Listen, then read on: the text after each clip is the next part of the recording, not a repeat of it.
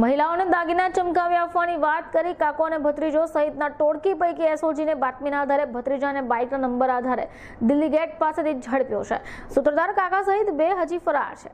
આ ટોળકીએ સુરતમાં થોડા દિવસ પહેલા રાંદેરમાં બે મહિલાઓને દાગીના ચમકાવી આપવાની વાત કરીને એક પોઈન્ટ ઓગણત્રીસ લાખની બંગડી લઈ રફુચક્કર થઈ ગયા હતા.